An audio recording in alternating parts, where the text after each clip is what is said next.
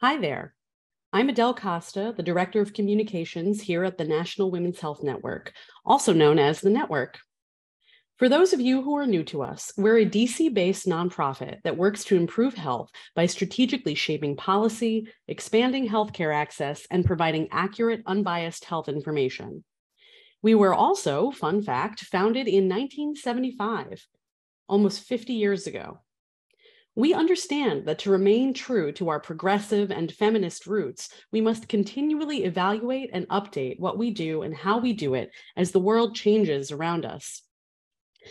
Part of charting this path forward means expanding access to health information in creative ways on platforms where real people are actually gathering. What you are about to hear is one of our new ways forward, the network's live recording of Your Health Unlocked's first episode. This recording was produced at our fall fundraising event on October 27th, our first in person event held in over two years. I had the privilege of speaking with three panelists about the history, present, and future of the women's health movement. Their full bios are in the show notes, but to give you a sense of these absolute giants, our first panelist, Ms. Byllye Avery, is a healthcare activist, past board member of the network, and founder of the Black Women's Health Imperative, the first national organization to specialize in Black women's reproductive health issues.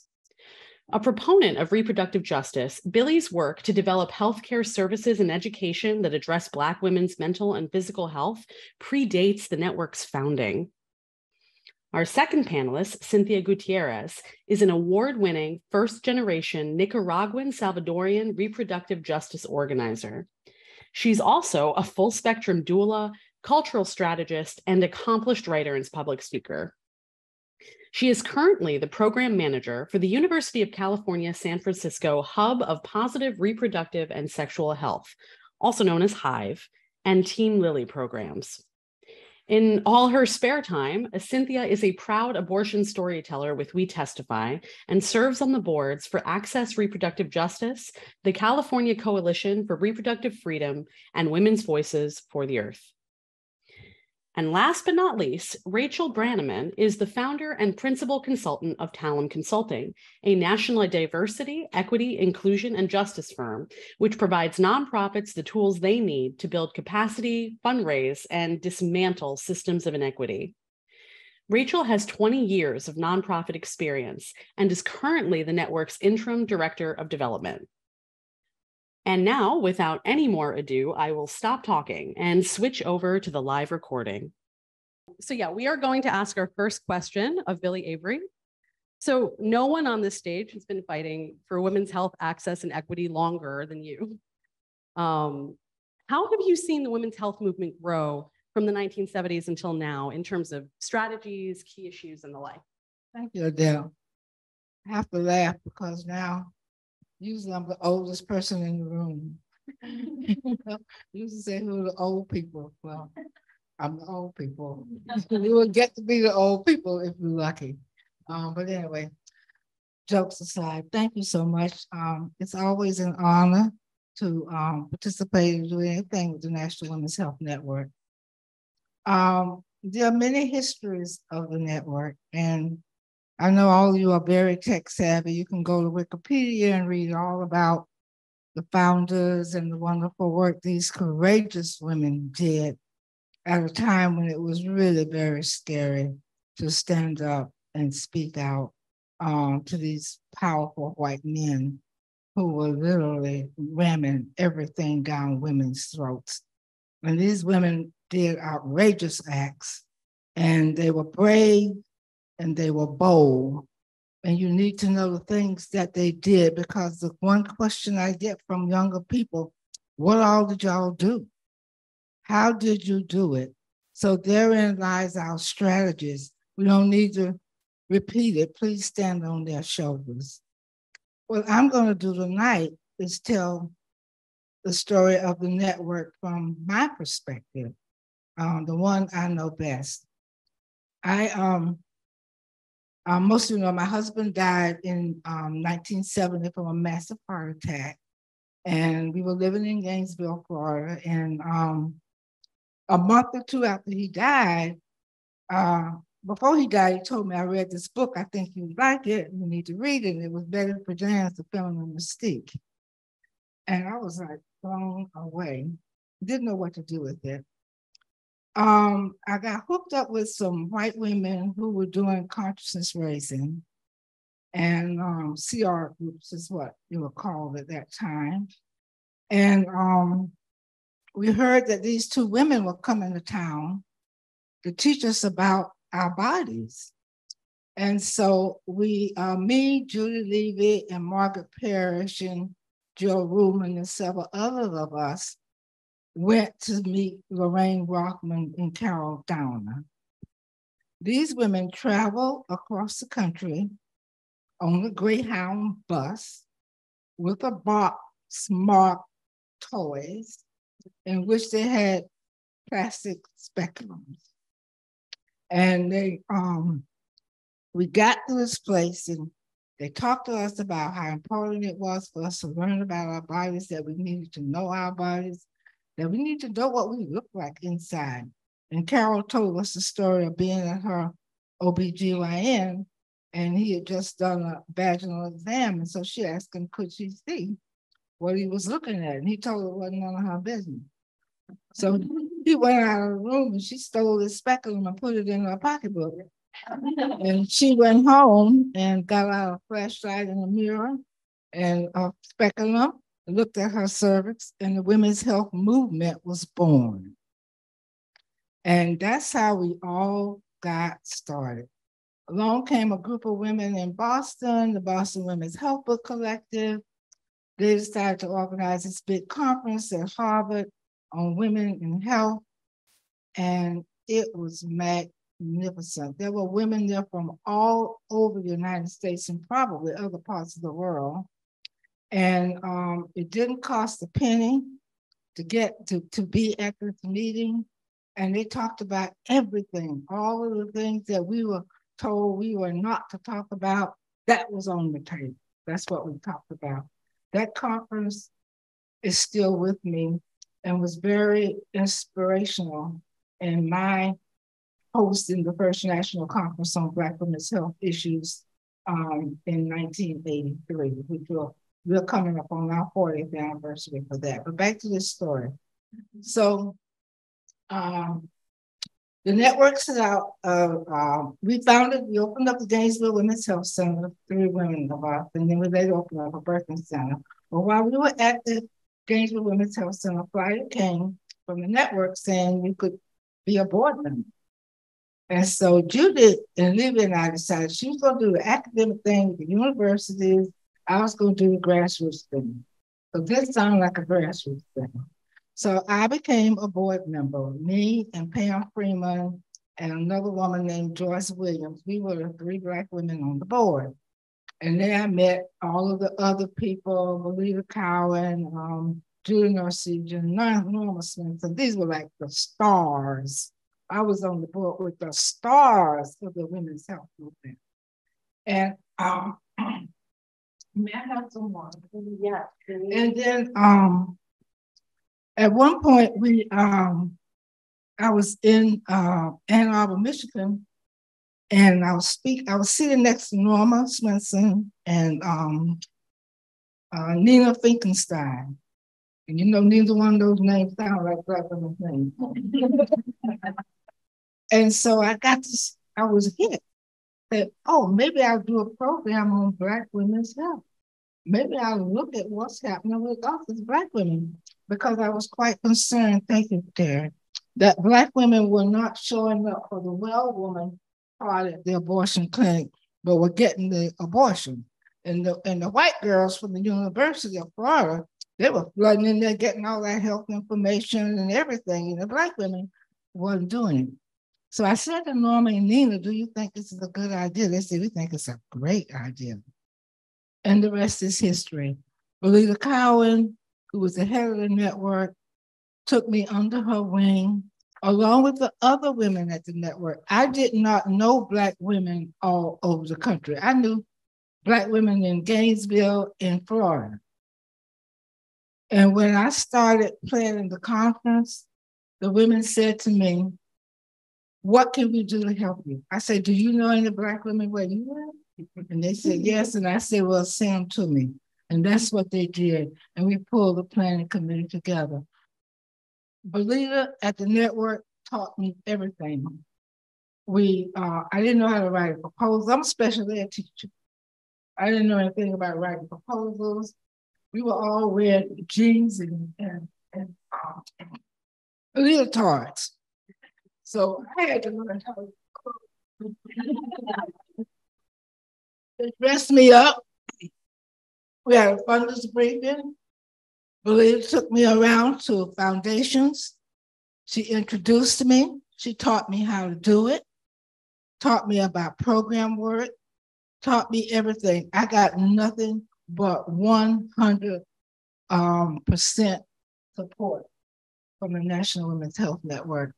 Without that support, I could have gotten disappointed.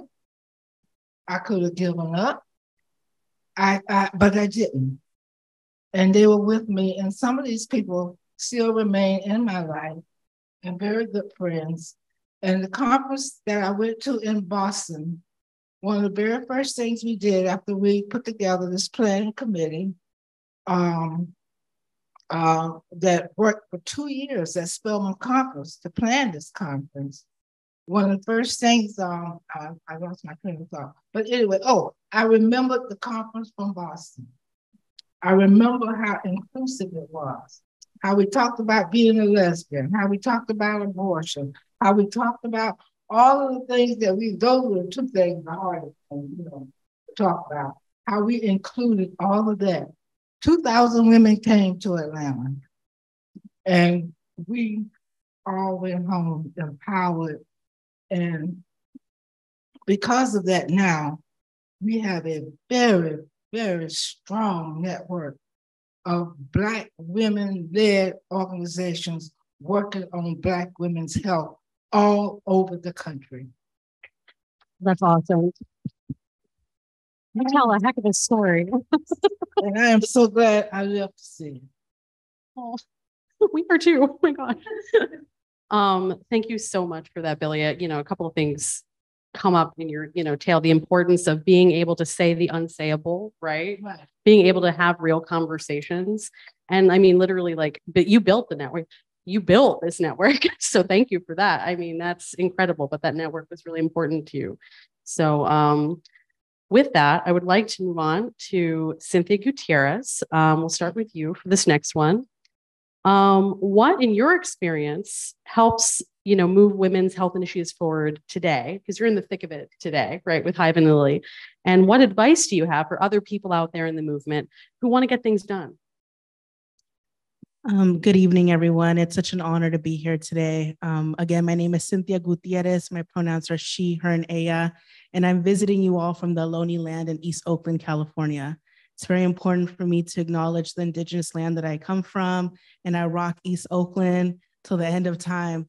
Um, I say all that because um, one thing that I've learned in my time, and, and first of all, thank you so much for what you shared. Like, I was listening to you, I could listen to you all night all night, the day after, the next week after. And I was just so um, honored to share space with you. Oh, oh thank you. um, one thing that I think about often is for me, um, in my personal life, I grew up in an immigrant household. Uh, my family migrated from Nicaragua in the late 1980s to San Francisco. And so when you come from a family and a community um, in a city that is just trying to survive, we weren't talking about women's health issues. Um, we weren't never talking about abortion. I grew up in a very Catholic household. Um, and so for the longest time, a lot of these topics were so taboo. They were nothing that ever got brought up. They were very silent.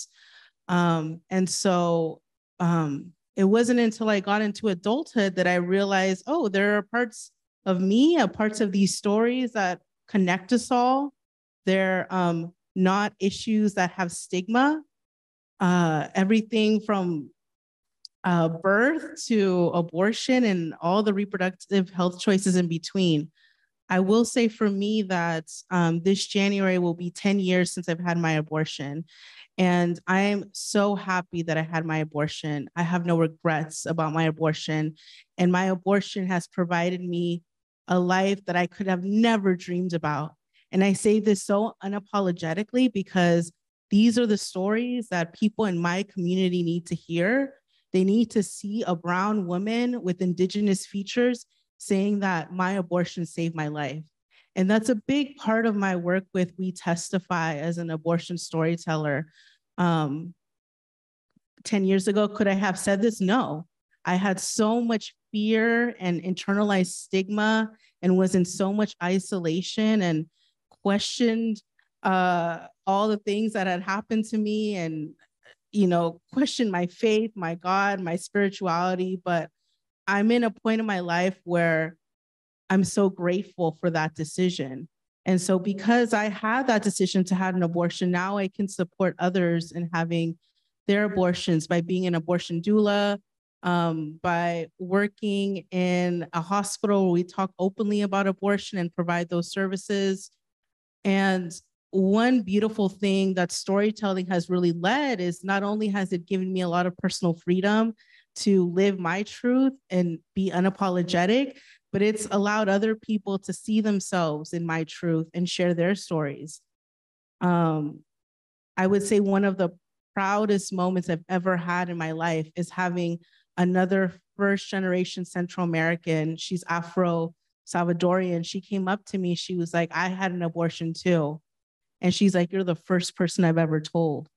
And I mean, and she's in a relationship. She's in a, you know, she's had her child now. It's, uh, she's had a very full life so far. But the fact that like it took seeing someone like her to be like, I see myself in you is what really moved her. And so one of my many roles and many titles, I, I have sometimes I forget them if it wasn't for the bio, but I will say one of the things that I'm so passionate about is like speaking our truth and being very clear that a lot of spaces are not safe to do that, especially a lot of spaces that are white powered and have white supremacy culture to them and quote unquote professionalism. Um, so being able to really build that courage, be able to build our tribe, our community to speak our truths, because now more than ever, we need to be able to say these things, um, especially since Roe has um, fallen. Um, so I would say storytelling is a big part of the cultural shift that I'm invested in and helping other young Black, Indigenous people of color share their stories. And sometimes it's just sharing it with one other person. And sometimes it's for folks maybe to write down their story for themselves and maybe never say it to somebody else. Other times it's helping another abortion story, storyteller write their story and share it in front of a national audience. Like the process looks different, but regardless, like we're still doing this in community and we're not siloed in these lived experiences anymore. Thank you so much. Storytelling is is powerful, right? We live on stories. So thank you for sharing yours with us today. Um, we feel truly privileged. Thank you for sharing that. Um, I'm going to ask the same question of Rachel. What helps get things done in this space? What is it? Oh, well, thank you. And I'm really glad to see all of you this evening. And I'm just honored to be on stage with you all. Um, I, I would say that um, as a white woman who comes from a background of privilege, that one of the things that people who have um, unearned privilege and um, resources that not everybody else has is being able to uh, be an ally and also use civil disobedience and um, stand up on behalf of other folks. So that's one of the things that, especially the last few years, I have made sure to do more of. And, um, you know, a few years ago, there was a massive arrest here in DC where 600 women were arrested around in family se- separation. And that was an opportunity for, I feel like, women who uh, had not necessarily uh, been able to speak up um, and talk about some of the things that are affecting other groups that don't look like them um, to actually be on the front line. And while that is definitely a privileged arrest, but uh, being able to show that this is uh, the next step forward. And also, as Miss Byllye was saying, it's something that um, the generations before us had done, and we we can't lose sight of what has been done in the past and continue to use those same uh, actions in our current movements. Just to be clear, you were arrested, right? That's I, what, I was okay. arrested, yes. All right, props, props. Good for you. The battle. so direct action is where, you know, direct action. nonviolent direct action. That's that's what uh that's what moves the needle. Thank you for that. Um, okay, so my next question is going to go to all of you. We're going to go down the line, starting with Ms. Byllye once again. Um, we just talked about some of the things that help this movement, right? Um, what actions or strategies do harm or act as barriers to moving the case of women's healthcare access and equity forward? Barriers? Some other than mean men? yes, that's an obvious one. people? Um, huh. Barriers everywhere I turn, there's a barrier. Let me let me let me um refine. Like what what what are what are some things that maybe like well-intentioned activists do that don't help? Oh, speak for other people. Um, think that there's only one way to do things. I know one of the things I learned um, early on with the Black Women's Health Project. Um, a woman was organizing in Detroit, and this um, very well meaning um, white woman called me up. She's on the network board. She said, Well, she's doing it all wrong, you know. And, you know, I think, you know, would you talk to her? So I said, Well, I'm to talk to her and see what she's doing. So I called her. What she was doing was fine. It was just different. You know, it was, you know, understand that there's power in difference and uh, and and and people need to be respected. I'll tell you one thing that I think happened that damaged our movement, and maybe because this is the way I uh, was taught to organize. We we we opened the abortion clinic. Four years later, we opened the birthing center. Whenever I speak, I talk about abortion and birth in the same center. They are a part of us, all of us, that happen. I don't see any need for this polarization. Okay.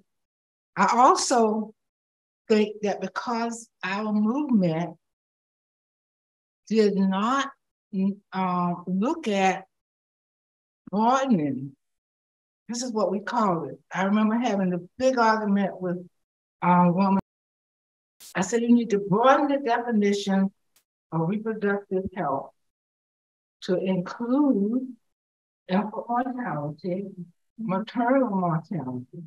No, they said we have to have our single issue abortion. And I knew that if they did it this other way, you move people.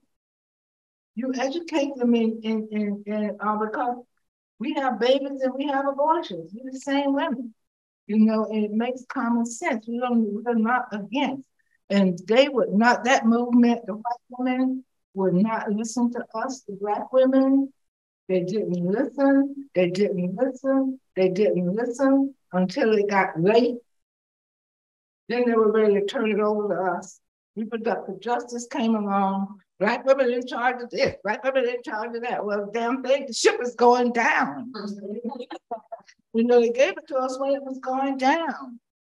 And so, not listening to everybody.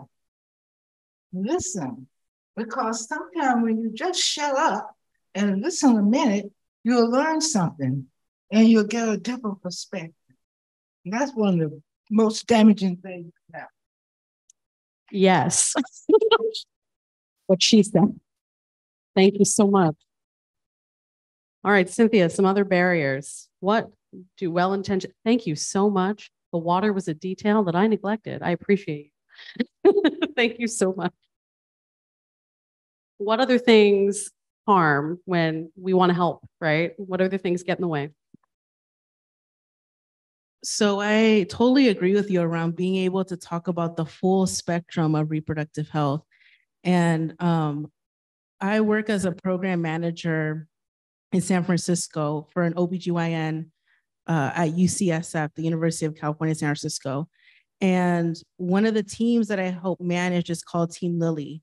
And what's so special about this team is that we serve pregnant people who are experiencing the most extreme barriers to care. I'm talking about substance use disorder, homelessness, incarceration or previous incarceration, intimate partner violence, uh, poverty, all these barriers, all these social determinants at once.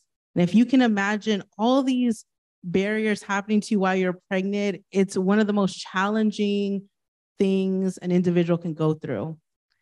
Um, so, one of the things that I found to be a barrier in that space is that funding. So, whenever we want to get funding to expand our services, um, to expand it to the postpartum period. So, right now, we support people in prenatal care, and folks come to us, I mean, as late as the third trimester, um, usually around the second trimester let's say that they have birth we can you know help them with a handful of visits. And we have this really phenomenal wraparound team where they get the same obgyn the same social worker and a patient navigator throughout their entire care. The thing that's been so hard is that we don't have the funding to be able to support them beyond a couple of postpartum visits. So you're having these folks who unless we're able to get them into a shelter which if any of you know San Francisco, all these shelters are completely maxed out. There's no extra beds right now, or we get them in some sort of residential treatment. Um, and that's if the person wants to do that. Now we have to, you know, then the conversation goes around consent and like forcing someone into treatment and, you know, giving them as much autonomy as possible, but also there's only so many places one can go. And so unless someone has these things in place or, you know, has another form of housing, temporary housing, they're immediately going back to the streets. And when I say the streets, folks are living in old abandoned cars or living in tents.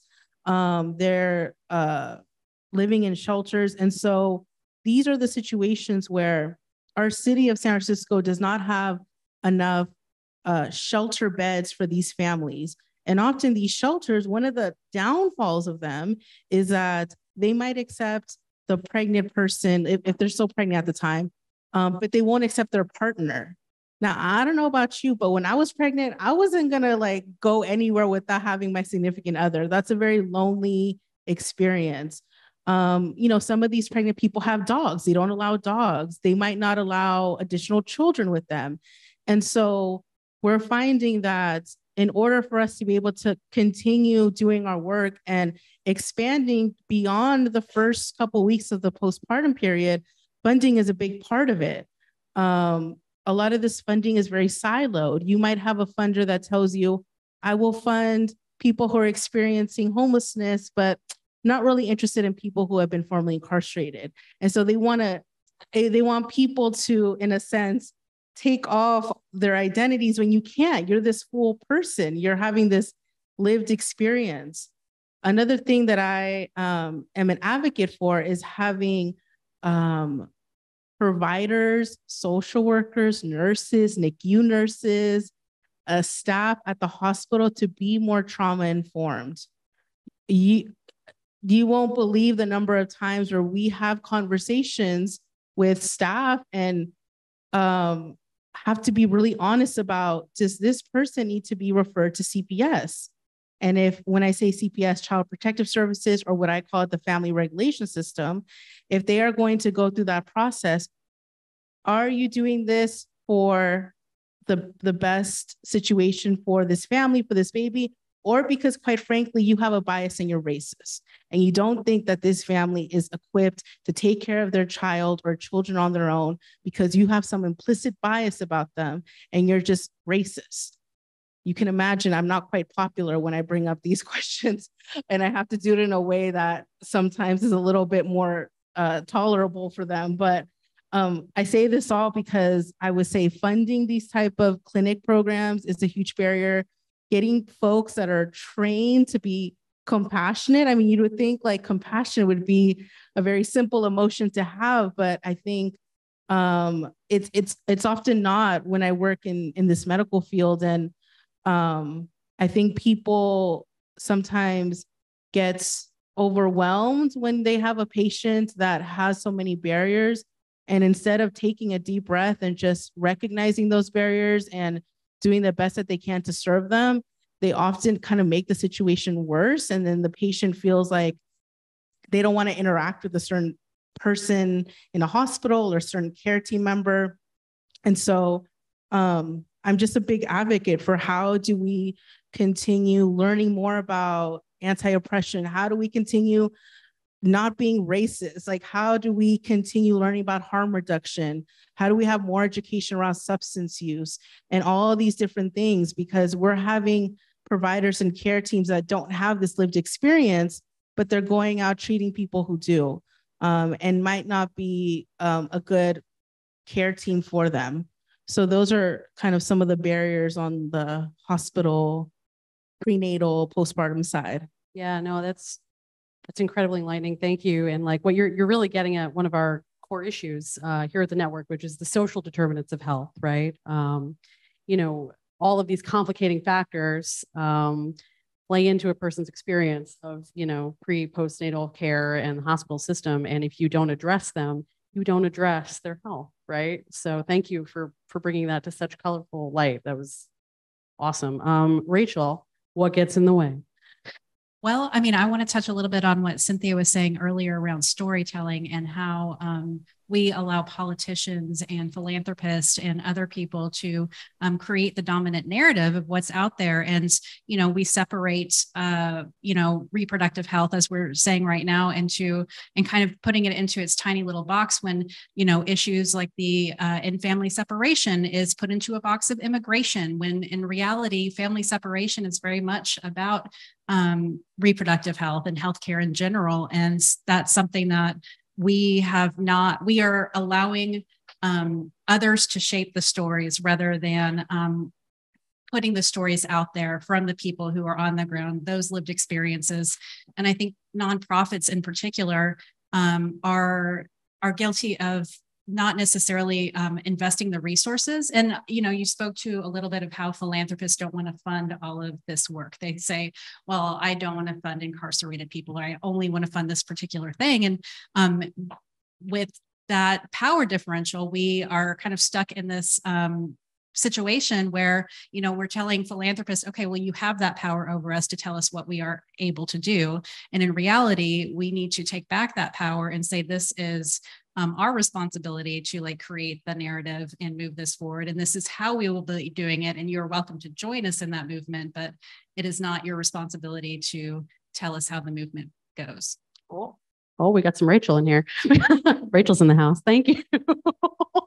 exactly. Um, well, thank you so much for that. Um, you two should talk. Thank you. um, and finally, because I think it's really important to end uh, on a hopeful note, I'm going to skip right to our last question um, which is I'm going to go down the line. What is your single biggest accomplishment, the one you're most proud of in women's health, and what did you learn from it? Ms. Byllye. Well, I'm most proud of Black women.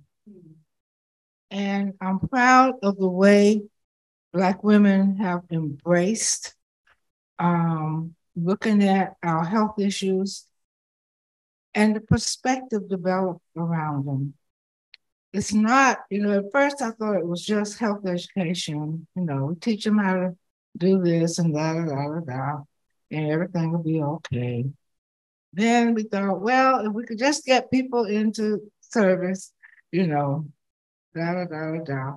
We ended up beating on uh, everybody about what you don't do and what you do. We're in a different place now. We're looking at systems that oppress us and the way the systems are really, or how racism has become so institutionalized.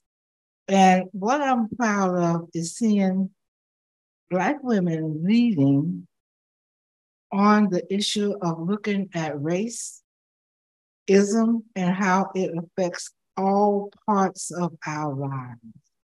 And it not only affects Black people's lives, it affects white people's lives just as well. And, and being bold and brave enough to face up to it and calling it for what it is and speaking out and doing the work. That's one thing. And um, I'll just stop there. Thank you so much. Yeah, that, that deserves a clap, I think, for sure. Cynthia? Oh, this is such a good question. Can I mention two things really quickly? No, yes, of course. One thing I will say, because I really want to give them a shout out on this podcast, is my work with Black Millennials for Flint. They're an incredible organization doing national work around environmental justice. And um, they and I, we've collaborated a lot on like maternal health panels and teach-ins and we're just we have so many projects we've done and we're gonna do in the next year so be on the lookout for that but i'm It'll be in the show notes. so proud to be able to work with such incredible black women and for them to like not only work with me on this intersection of reproductive justice and environmental justice but for them to then be in sisterhood with me these women threw me a virtual baby shower in the pandemic um, because I did not have one because of COVID 19. And I, you know, I'm a, I always tell them how much I love them because it, the one thing this movement has shown me is that we need to invest in the people in this movement. We need to love on each other and we need to show up for one another. Um, I would say the little second thing I was going to put is being able for myself to be vulnerable to have younger folks come into this movement. Um, I identify as a millennial, so now these Gen Zers uh, are coming in and they're so smart and they're so incredible and they're so bold. Yeah, and it's like I see some of these young folks and they have so much courage that I didn't have at their age. It took me, you know, a handful of years to to be like them and I'm proud that like by me sharing my stories and me sharing what I've learned along the way, I make it easier for them to feel included with their whole identities in the reproductive justice movement. Um, because I know it's not mine to keep. I'm not here to like keep the seat warm for myself forever. Um, the seat is meant for all of us. And um, to be able to just be a vessel for young Black and Indigenous, you know, women of color to come through that's the biggest blessing that I've had. Thank you. You heard it here, folks. First, folks, it's not the Iron Throne. It's the opposite of the Iron Throne. Rachel, what are you most proud of? Um, well, I think uh, one of the things that I um, am really able to do well is especially working um, as a consultant in the nonprofit space is I primarily work with black and brown led organizations and they are the ones who are receiving the least amount of philanthropic funding, but they are the ones who are doing the most um, amount of work on the ground directly with people. So making sure that they have access to the resources they need, making sure that they have um, the connections they need in order to, um, you know, have uh, philanthropists who might not otherwise know about the work that they're doing. So um, getting their foot in the door with, you know, grant writing and things like that, which are, you know, just some of these things that come fairly naturally to white-led institutions that um, are just not necessarily as easily accessible. So helping them overcome these barriers that they're facing. Thank you. Thank you for everything you do for all of us. Byllye would like to say one last thing. Absolutely.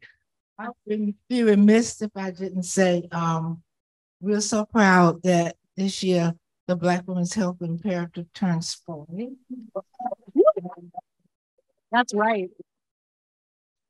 A Black Women's Organization alive for 40 years has not been easy. Uh, but now we have an incredible, wonderful ED in Linda Goler Blount. And she came to us with a vision. We got in line. The captain was on the ship. We turned that ship around. She's now been with us almost 10 years, and we are nothing like the tiny little organization we were in.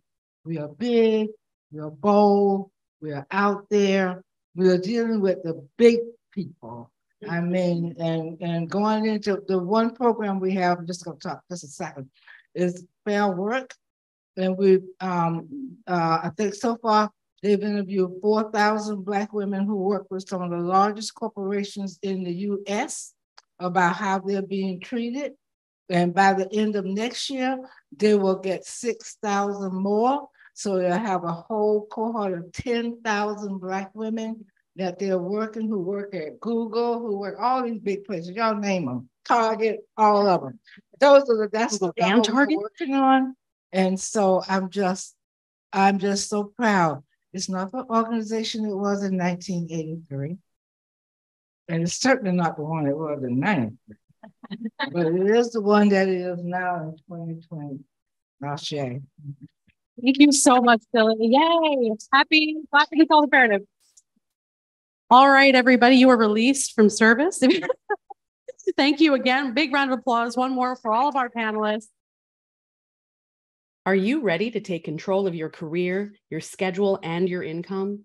Get the skills and insight to start your own thriving freelance business via the free video training at www.freefreelancetraining.com. Make this the year that you finally put your goals first. www.freefreelancetraining.com, sponsored by Nicki K Media.